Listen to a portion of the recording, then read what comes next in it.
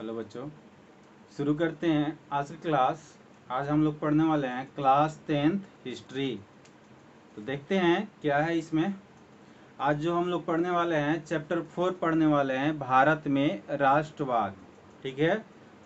तो भारत में राष्ट्रवाद क्या था, इसमें क्या क्या टॉपिक पढ़ना है, उसके बारे में देखते हैं। तो राष्ट्रवाद जो है, क्या कहलाता है? तो किसी निश्चित सीमा में रहने वाले समुदायों के बीच राजनीतिक, आर्थिक, सामाजिक, सांस्कृतिक एकता की भावना को राष्ट्रवाद कहते हैं। किसी निश्चित सीमा में रहने वाले लोगों के राजनीतिक, आर्थिक, सामाजिक और सांस्कृतिक भावना की एकता, यानी सब में एकजुटता हो, यानी कुल मिला के ये कहा जाए, जब लोग, देश के लोगों में क्या हो जाए, अपने देश के प्रति सोचने लगे, अपने विकास के प्रति न सोच के, देश के विकास के प्रति सोचने लगे तो इसको हम लोग कहते हैं राष्ट्रवाद, ठीक है? अब राष्ट्रवाद होने के लिए किन किन तत्वों का होना आवश्यक है, या यूँ कहें कि किन किन बातों पर निर्भर करता है? तो पहला जो है, एक निश्चित सीमा, है ना? एक निश्चित सीमा होनी चाहिए राष्ट्रवाद का विकास के लिए।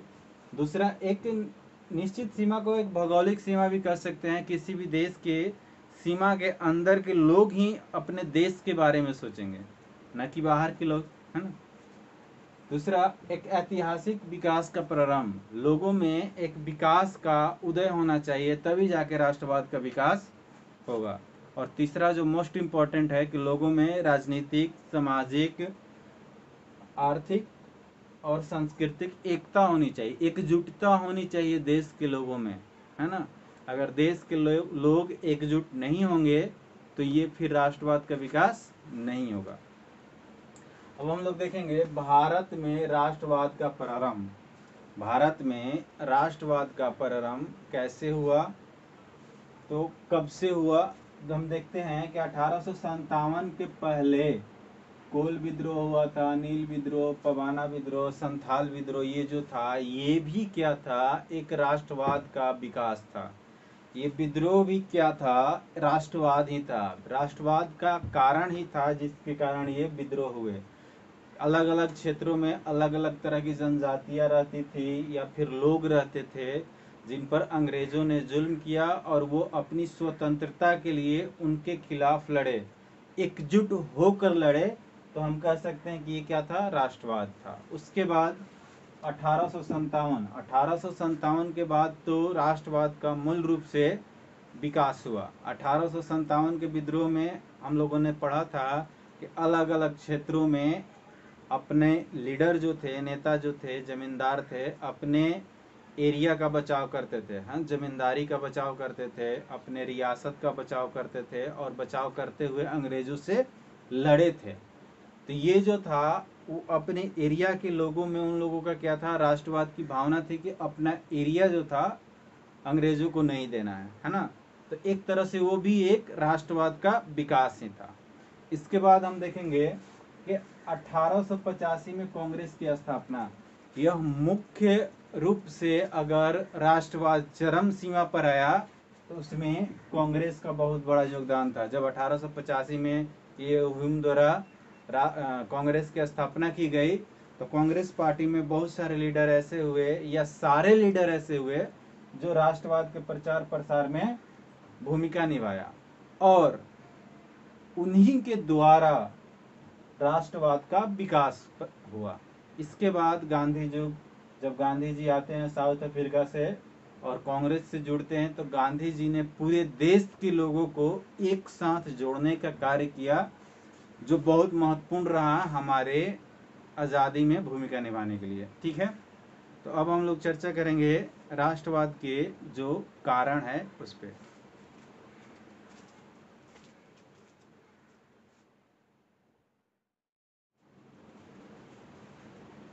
आइए देखते हैं, भारत में राष्ट्रवाद के उदय का कारण क्या क्या था? तो पहला कारण जो था, वो था अंग्रेज़ी साम्राज्य के विरुद्ध असंतोष। भारत के लोग में इस टाइम में बेरोजगारी, बेकारी जैसी बहुत सारी समस्याएँ आ गई थी।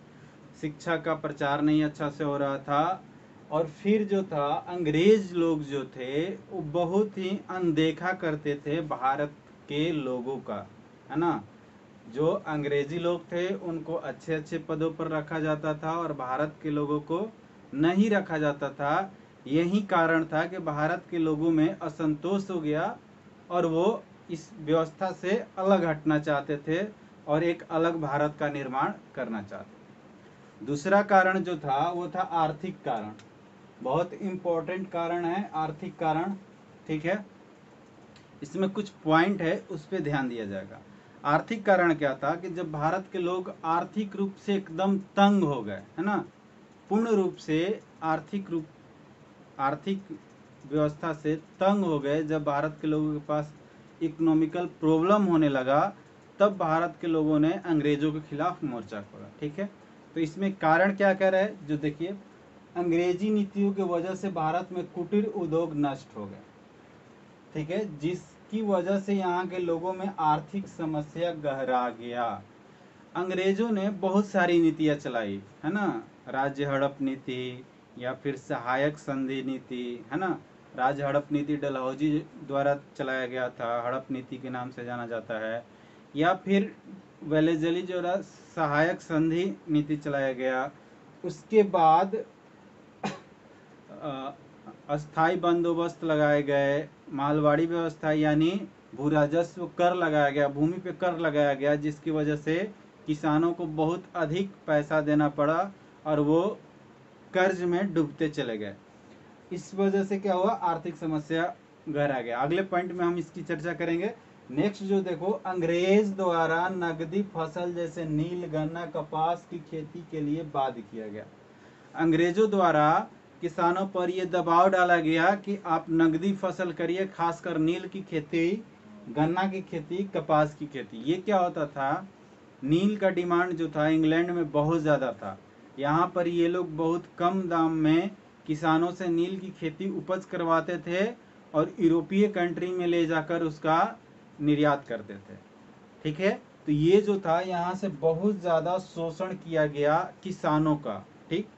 इसके बाद अठारह ईस्वी में सरकार ने सूती वस्त्र से आयात कर हटा लिए। हुआ क्या कि भारत में सूती वस्त्र में बहुत सारे लोग कार्य करते थे। सबसे बड़ा उद्योग जो था, वस्त्र उद्योग था, उसमें भी सूती वस्त्र उद्योग, ठीक है? इसमें बहुत सारे मजदूर कार्य करते थे, जिसमें भारत का आर्थिक प्रॉब्लम सॉल्व होता था उन लोगों का, ठीक है? वो सूत काटते थे और उसका वस्त्र का निर्माण करते थे। लेकिन अंग्रेज़ों ने क्या किया? अठारह ईस्वी में इससे कर हटा लिया। और ये जो यहाँ से सूती वस्त्र था, ले जाते थे कपास, ठीक है? कपास से ही सूती वस्त्र का निर्माण होता है।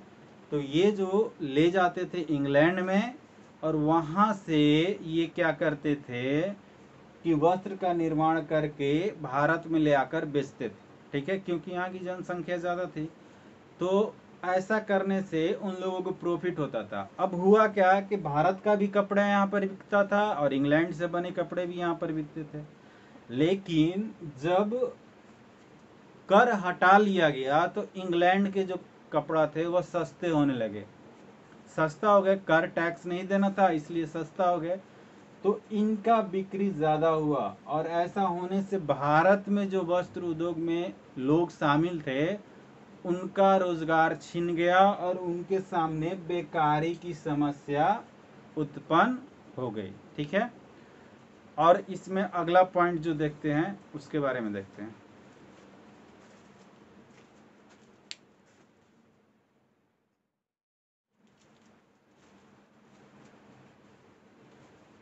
हम लोग आर्थिक कारण में कुछ पॉइंट देखे थे। अगला पॉइंट जो इसमें है, आर्थिक कारण में, वो भू राजस्व नीति, है ना? भू राजस्व नीति अंग्रेज़ों द्वारा चलाया गया था। इसके तहत भूमि के द्वारा वो लोग कर लेते थे, किसानों से। और समय समय पर इसमें बदलाव करके अलग अलग तरीके से उन्होंने अलग अलग नीतियाँ अपनाई और किसानों का पूर्ण रूप से शोषण किया। तो इसमें भू राजस्व नीति में जो पहला था अस्थाई बंदोबस्त था, ठीक है? अस्थाई बंदोबस्त क्या था? तो अस्थाई बंदोबस्त सत्रह सौ तिरानवे ईस्वी में लॉर्ड कर्नवालिस द्वारा लगाया गया था, ठीक है? सत्रह सौ तिरानवे ईस्वी में लॉर्ड कर्नवालिस द्वारा लगाया गया था। इसके तहत भूमि का जो मालिक होता था, वो जमींदार होता था। लॉर्ड कर्नवालिस ने क्या किया कि भूमि का पूर्ण रूप से मालिक जमींदारों को बना दिया और कर लेने का ज़िम्मेदारी जो था, वो जमींदार का था, है ना? अंग्रेज़ी सरकार को कर जो देगा, वो कौन देता था? जमींदार देता था। अब होता क्या था यहाँ से कि कर अगर आपको देना है पचास परसेंट तो जमींदार जो था, किसानों से सत्तर परसेंट, अस्सी परसेंट, मनमाने ढंग से कर वसूलता था और वो अंग्रेज़ों को पचास परसेंट या जो भी निर्धारित किया गया था, वो दे, देता था। इससे क्या हुआ कि किसान दिन प्रतिदिन कर्ज में डूबते चले गए। उनकी स्थिति जो है खराब होती चली गई। जमींदार धनी होते चले गए। इनकी स्थिति में इजाफा होने लगा। और फिर अंग्रेज़ जो है अधिक से अधिक कर लेकर अपना बिज़नेस बढ़ाने लगे, ठीक है? अगला जो था, वो रैयतवाड़ी व्यवस्था था। अब यहाँ से क्या हुआ? जब अंग्रेज़ों ने देखा कि जमींदारों का पूंजी में इजाफा होने लगा बहुत ज़्यादा तो उन लोगों ने ज़्यादा से ज़्यादा कर लेने के लिए क्या किया कि भूमि का मालिक डायरेक्ट रूप से किसान को बना दिया, है ना? अब इस व्यवस्था को क्या था? 1820 में लागू किया गया, ठीक है? रैयतवाड़ी व्यवस्था कब लागू की गई? 1820 ईस्वी में। यह टॉमस मुनरो और कैप्टन रीड द्वारा लगाया गया था, ठीक है? इसमें भूमि का मालिक, इसकी विशेषता क्या थी कि यह भूमि का मालिक क्या था? किसान होता था, ठीक है? इसमें भूमि का मालिक किसान होता था और राजस्व देने की ज़िम्मेदारी भी क्या थी? किसानों की थी। और यहाँ पर क्या किया गया अंग्रेज़ों द्वारा कि कर को बढ़ा दिया गया। यहाँ जितना कर था, उससे ज़्यादा यहाँ कर दिया गया। और डायरेक्ट किसान से ये लोग वसूलते थे इससे क्या हुआ कि जो यहाँ जमींदार थे, उनकी स्थिति खराब होने लगी। ठीक है? यहाँ जो जमींदार किसानों से कर लेते थे, भूमि के मालिक हुआ करते थे, उनका स्थिति खराब होने लगा। आगे चलते हैं, देखते हैं कि जब किसान डायरेक्ट रूप से कर देते थे अंग्रेज़ों को तो किसान को तो उतना ही कर्ज देना पड़ा। तो यहाँ पर भी किसानों का पूर्ण रूप से शोषण हुआ, कर्ज तले डूबे रहे और मतलब अंग्रेज़ी व्यवस्था से एकदम नाखुश हो चुके ठीक है? अब इसके बाद जब अंग्रेज़ों को लगा कि नहीं, यहाँ से कर कम मिल रहा है, क्योंकि किसी किसान के पास ज़्यादा ज़मीन है, किसी के पास कम है तो कम किसान वाले कम कर दे रहे थे, ज़्यादा वाले ज़्यादा दे रहे थे तो इसमें सुधार के लिए क्या किया गया? महालवाड़ी व्यवस्था अपनाया गया। महाल का मतलब होता है, मोहल्ला गाँव, ठीक है? तो इस व्यवस्था के तहत क्या किया गया कि भूमि का मालिक समस्त गाँव को बना दिया गया। एक पूरे गाँव को भूमि का मालिक बना दिया गया। पूरा गाँव मिल के वहाँ पर कृषि करता था, खेती करता था और वहाँ के किसान पूरे गाँव के किसान मिल के अंग्रेज़ों को कर देते थे। इससे क्या हुआ कि पूरे ज़मीन से वो कर लेने लगे किसान और किसानों की, किसान नहीं, अंग्रेज़ और अंग्रेज़ों की स्थिति और ज़्यादा खराब होने लगी। ठीक? अच्छा महालवाड़ी व्यवस्था को लागू किया था 1822 ईस्वी में हॉल्ट मैकेजी ने, और इसको पूर्ण रूप से अगर लागू की बात करें, इसको कह सकते हैं शुरुआत किया था और पूर्ण रूप से लागू मार्टिन वर्ड ने किया था, ठीक है? तो इस तरह से आप देख सकते हैं कि समय समय पर चेंज करके भू राजस्व नीति को अपनाया गया और किसानों का पूर्ण रूप से शोषण किया गया। फिर उधर सूती वस्त्र में बताया कि वहाँ से शोषण किया गया फिर भारत के लोगों को शोषण किया गया तो भारत के लोगों में पूर्ण रूप से आर्थिक समस्या आ गई और इसके बाद भारत के लोगों ने यह सोचा कि अंग्रेज़ों को हटा देना है और यहाँ से भारत के लोगों में राष्ट्रवाद की भावना की उत्पन्न होती है। ठीक है? तो कह सकते हैं कि आर्थिक कारण एक महत्वपूर्ण कारण था भारत के राष्ट्रवाद में उदय का। ठीक है? देखते हैं नेक्स्ट कारण।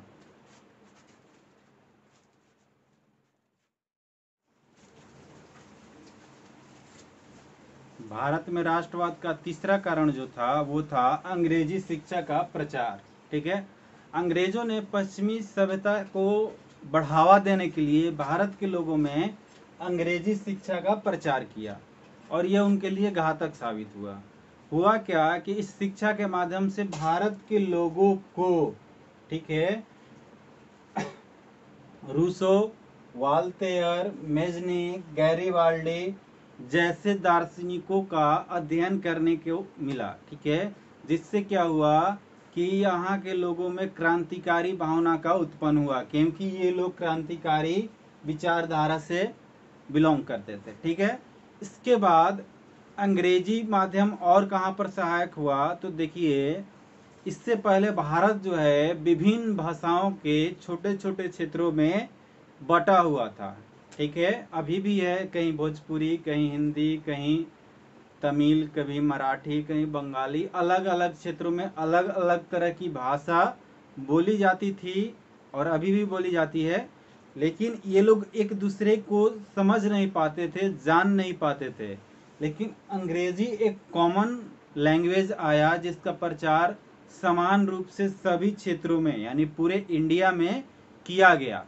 और इसका नॉलेज जब सभी लोगों को हो गया तो लोग एक दूसरे के भावना को समझने लगे, बातों को समझने लगे और उनसे क्या हुआ? उनमें आपसी जुड़ा हुआ और भारत के लोगों में राष्ट्रवाद की भावना का उत्पन्न हुआ। ठीक है? तो इसके बाद यह भारत की नागरिक में जड़ता को समाप्त कर दिया। यानी भारत के लोग जो मूल रूप से पुराने विचारधारा से संबंध रखते थे। उनके विचारधारा को बदलने का भी कार्य अंग्रेज़ी माध्यम ने किया, क्योंकि यहाँ से इन लोगों को एक और चीज़ पता चली, अमेरिका का स्वतंत्रता संग्राम, ठीक है? तो लोगों में कहीं ना कहीं ये चीज़ें होने लगी कि अगर अमेरिका जो है, ब्रिटेन से स्वतंत्र हो सकता है तो हम लोग भी हो सकते हैं, ठीक है? तो इस वजह से यह एक मुख्य कारण रहा भारत के राष्ट्रवाद के उदय में। अंग्रेज़ी शिक्षा का प्रचार, ठीक है? बाकी और भी कारण है जिसको हम लोग नेक्स्ट वीडियो वीडियो में देखेंगे। तब तक के लिए धन्यवाद।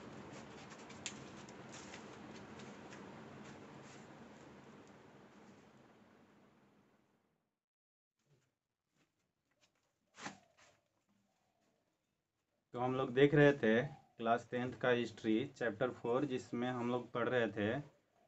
राष्ट्रवाद के उदय का कारण, जिसमें हम लोगों ने तीन कारण देखा था। आज हम लोग चौथे कारण पे देखेंगे।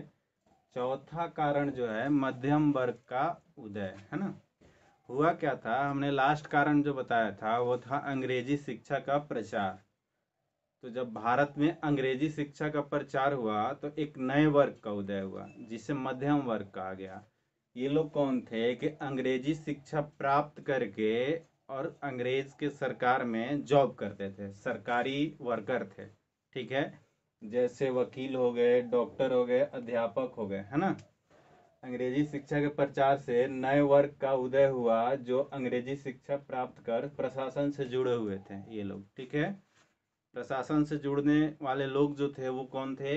डॉक्टर था वकील थे, या फिर अध्यापक थे जो राष्ट्रवाद के प्रचार में बहुत सहायक हुए। कैसे हुए, उसको देखते हैं कि पहले ये लोग जो थे, ये सरकार के ही पक्षधर थे। यानी सरकार का बचाव करते थे, सरकार की नीतियों का बड़ाई करते थे। लेकिन जैसे जैसे समय बीतता गया और इन लोगों को ज्ञान जब हुआ और अंग्रेज़ों की जो नीतियाँ की खामियाँ थी, इनको पता चलने लगी या उनका व्यू था जो भारत का शोषण करना था, भारत के जनता को वो पता चलने लगा। तब जाकर इन लोगों के दृष्टिकोण में बदलाव आया और ये क्या हो गया? स्वतंत्रता एवं समानता के पक्षधर बन के उभरे। ठीक है? तो यहाँ से क्वेश्चन आता है कि मध्यम वर्ग में कौन कौन से व्यक्ति आते हैं? तो वकील, अध्यापक, डॉक्टर, है ना? एक और क्वेश्चन आता है कि पहले ये क्यों सरकार के पक्षधर थे? तो क्योंकि इनको सरकार की नीतियों का पता नहीं था और फिर बाद में ये क्यों मतलब भारत के पक्षधर बन गए या राष्ट्रवाद के प्रचार के पक्षधर बन गए तो धीरे धीरे सरकार की नीतियाँ पता चलने लगी, उनकी मतलब जो कमियाँ थी या फिर कहें कि भारत का शोषण करने वाला नीति था, पता चलने लगा तो फिर ये पक्षधर बने और फिर राष्ट्रवाद के प्रचार में इन लोगों ने बहुत ज़्यादा सहायता किया। ठीक है? नेक्स्ट, देखते हैं नेक्स्ट पॉइंट।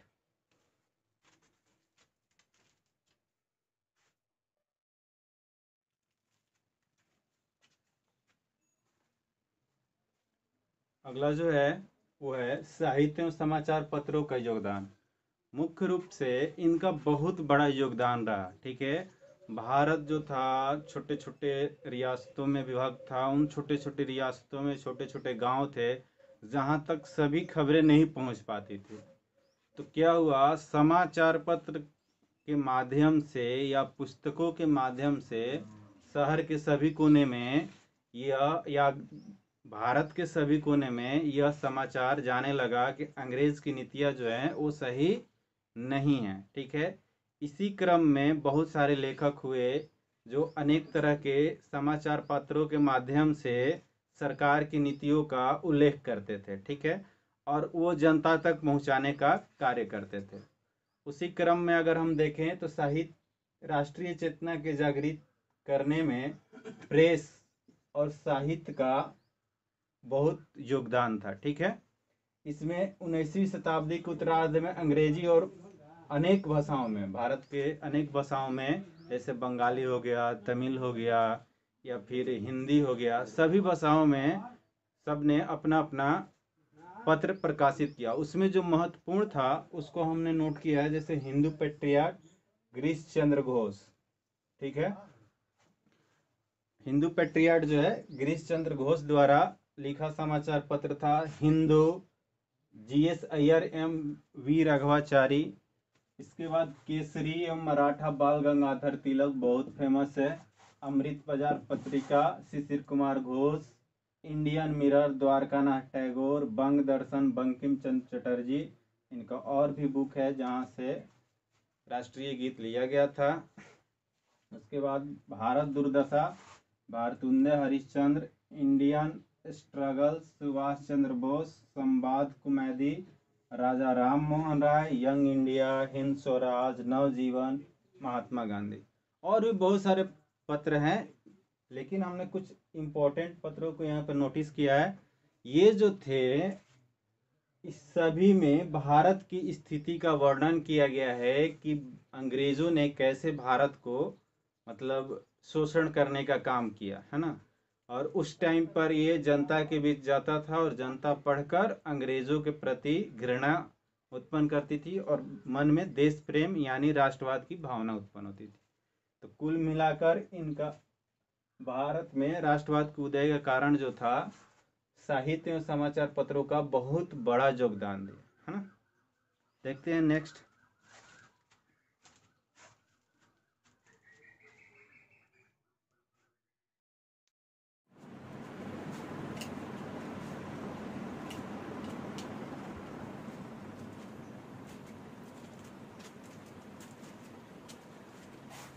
अगला जो पॉइंट है, वो है सामाजिक धार्मिक सुधार आंदोलन, ठीक है? ये भी बहुत इम्पोर्टेंट था क्योंकि इस आंदोलनों के द्वारा जो था, भारत के लोगों में जो पहले से कुर्तियाँ बैठी हुई थी या फिर जिसको कहें कि अंग्रेज़ों के प्रति भावना बैठी हुई थी, उसको ख़त्म किया गया, ठीक है? और नए नए संस्थाओं का उदय हुआ। नए नए संस्था में अंग्रेज़ों की नीतियों का विवेचना किया गया। उनकी आलोचना की गई और फिर वहाँ से लोगों में चेतना जगाई गई। तो इसमें जो पॉइंट होगा उसको देखेंगे।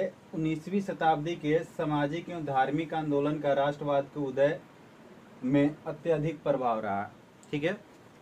इन आंदोलनों के फलस्वरूप भारत के कुरीतियों का पर्दाफाश किया गया और लोगों में नई चेतना जगाई गई। जैसे पहले के लोगों में जो सती प्रथा था, फिर बाल विवाह था इन सबों को हटाया गया, है ना? और लोगों में नई एक चेतना जगाई गई, जिससे लोगों का जो माइंड डेवलप हुआ, वो अपने देश के बारे में सोचना शुरू किए। और इन्हीं इन्हीं सब के द्वारा, है ना, भारत के लोग में अंग्रेज़ों के प्रति विरुद्ध की भावना जगी। इसके बाद इनसे रिलेटेड जो लोग थे, उनमें राजा राम मोहन राय, रामकृष्ण परमहंस, दयानंद सरस्वती, विवेकानंद का सराहनीय योगदान रहा ना, है ना? यही लोग थे जो भारत की कृतियों को समाप्त करने में महत्वपूर्ण भूमिका निभाए। इन लोगों ने क्या किया कि अपना अपना एक संस्था बनाया और संस्था से बहुत सारे लोगों को जोड़ना शुरू किया। और उन लोगों में अंग्रेज़ों की जो नीतियाँ थी, उनका आलोचना शुरू किया गया कि अंग्रेज़ जो है, भारत के लोगों का कैसे शोषण किया कर रहे हैं, कैसे मतलब भारत के लोगों के साथ दुर्व्यवहार कर रहे हैं, इस सारे चीज़ों को इन संस्था के लोगों ने दूर दूर तक जाकर प्रचार किया, ठीक है? गाँव में, देहात में, शहरों में, सभी जगह पे इन लोगों ने प्रचार किया। इससे क्या हुआ कि सभी जनता के बीच अंग्रेज़ों के खिलाफ भावना जागृत हुई और अपने देश के प्रेम की भावना जागृत हुई। इनमें जो इम्पोर्टेंट संस्था थी, वो है वेदांत कॉलेज, आत्मीय सभा और आर्य समाज। इन तीनों का इन तीनों संगठन का संस्थापक राजा राम मोहन राय थे। खासकर आत्मीय सभा और वेदांत कॉलेज जो था वो मुख्य रूप से अंग्रेज़ों की आलोचना करने वाला ही सभा था। इससे जुड़े सभी लोग क्या करते थे? आ, देहात में जाते थे और लोगों से संपर्क करके अंग्रेज़ों की आलोचना करते थे। उनकी नीतियों का उल्लेख करते थे कैसे वो हमारे भारत का और भारत के किसानों का, मजदूरों का, सबका शोषण कर रहा है है ना? इसके बाद ब्रह्म समाज, दयानंद सरस्वती, वेद समाज, केशवानंद सेन, बेलूर मठ, स्वामी विवेकानंद, रामकृष्ण परमहंस तत्बोधनी सभा, रामकृष्ण परमहंस भी, स्वामी विवेकानंद तत्बोधनी सभा देवेंद्र नाथ ठाकुर, अभिनव भारत बी डी सारवरकर एक बहुत इम्पोर्टेंट है। जो बहुत सारे एग्ज़ाम में पूछ लेता है कि अभिनव भारत का संस्थापक कौन थे? सारे जो है इम्पोर्टेंट है है ना? इसके बाद सत्य शोधक समाज ज्योतिबा फूले, विश्व भारती, रविन्द्रनाथ ठाकुर इस सारे संस्थाओं का वर्क यही था कि अंग्रेज़ों की नीतियों का उल्लेख भारत के लोगों में करे कि कैसे वो अपनी नीतियों द्वारा भारत का और भारत के किसान, जनता, मजदूर सबका कैसे शोषण कर रहे हैं, ठीक है? और इस नीतियों का अगर लोगों तक प्रभाव पहुँचा और फिर लोगों में अंग्रेज़ों के प्रति घृणा अपने देश के प्रति राष्ट्रवाद की भावना का जागृति हुआ, इस तरह से इसका महत्वपूर्ण योगदान रहा सामाजिक, धार्मिक सुधार आंदोलन का भारत के राष्ट्रवाद के उदय में, ठीक है? अब देखते हैं नेक्स्ट पॉइंट अगला पॉइंट जो है वो इस तरह से है पश्चिमी सभ्यता संस्कृति से संपर्क, है ना? भारत के लोगों को पश्चिमी सभ्यता से जब अवगत कराया गया तो उन लोगों को अमेरिका की क्रांति, फ्रांस की क्रांति, रूस की क्रांति, जापान, चाइना का युद्ध, जापान रूस का युद्ध से अवगत कराया गया, है ना? उन लोगों को उसका ज्ञान हुआ। तब भारत के लोगों ने ये सोचा कि अगर अमेरिका ब्रिटेन को हरा सकता है तो हम क्यों नहीं हरा सकते, है ना? जापान जैसा छोटा देश चाइना को, रूस को हरा सकता है तो हम ब्रिटेन को क्यों नहीं हरा सकते हैं? और इस तरह से भारत के लोगों में राष्ट्रीय चेतना की भावना जगी, ठीक? और इसमें कोई पॉइंट नहीं है जिसको हम लोग लिख सकेंगे। आठ नंबर जो होगा, वो होगा प्राचीन संस्कृति का ज्ञान। भारत के लोगों को प्राचीन संस्कृति से अवगत कराया गया। और पहले के संस्कृति से लोगों ने ये सोचा कैसे पहले के लोग अपने रियासतों का, अपने सीमा का बचाव करने के लिए देश प्रेम की भावना रखते थे। छोटे छोटे राजा भी बड़े बड़े राजा से लड़ जाते थे। ये कैसा था? जैसे कलिंग का युद्ध था, जो मतलब अशोक से लड़ गया था, कलिंग का राजा खारवेल जो था। इस तरह से बहुत सारे चीज़ों को अवगत कराया गया। फिर इसमें बहुत सारे यूरोपीय राइटर जो थे, लोग थे चिंतन करने वाले लोग थे, जैसे William Jones, Max Muller, Monier Williams, Charles Wilkinson और बहुत सारे भारतीय विद्वान भी इस तरह की चीज़ों में शामिल थे। इसके बाद एशियाटिक सोसाइटी ऑफ़ बंगाल, जिसकी स्थापना जो विलियम जोन्स ने की थी। इसने बहुत सारे भारतीय प्राचीन ग्रंथों का अनुवाद अंग्रेज़ी और अनेक लैंग्वेजों में कराया इस संस्था ने, ठीक है? जिसका प्रभाव सीधे तौर पे भारत के राष्ट्रवाद पर पड़ा। आठ नंबर जो है, बहुत इंपॉर्टेंट प्रजातीय विभेद की नीति। अंग्रेज़ों ने भारत के लोगों के साथ प्रजातीय विभेद की नीति अपनाई। प्रजातीय विभेद का मतलब वो अंग्रेज़ी लोगों को या जो ब्रिटेन के निवासी थे, उनको ज़्यादा सक्षम समझते थे भारत के लोगों से, है ना? भारत के लोगों को बहुत जगहों पर बैन कर दिया गया था। वहाँ उनका प्रवेश वर्जित था और ये बहुत दुर्व्यवहार किया जाता था भारत के लोगों के साथ, ठीक है? अब कहाँ कहाँ पर प्रवेश वर्जित था वो भी हम लोग देख लेते हैं। यूरोपीय क्लब में प्रवेश नहीं मिलता था भारत के लोगों को, ठीक है? दूसरा, रेलवे के प्रथम श्रेणी में सफ़र नहीं। इम्पोर्टेंट है, रेलवे के प्रथम श्रेणी में भारत के लोगों का टिकट नहीं मिलता था। भारत के लोग जो भारतीय मूल के निवासी थे, रेलवे के प्रथम श्रेणी के डिब्बों में वो सफ़र नहीं कर सकते थे। ठीक है? उसमें सिर्फ़ अंग्रेज़ कर सकते थे।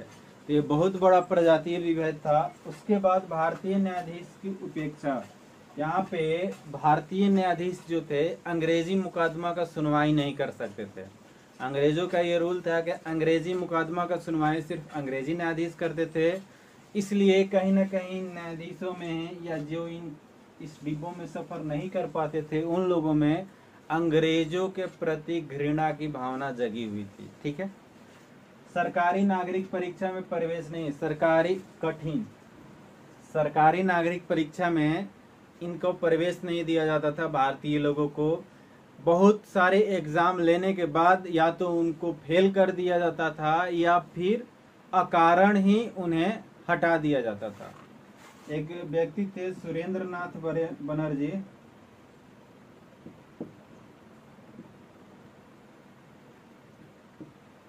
इनके साथ भी ऐसा ही किया, गया था। इनको बिना ताज का बादशाह भी बोला जाता है।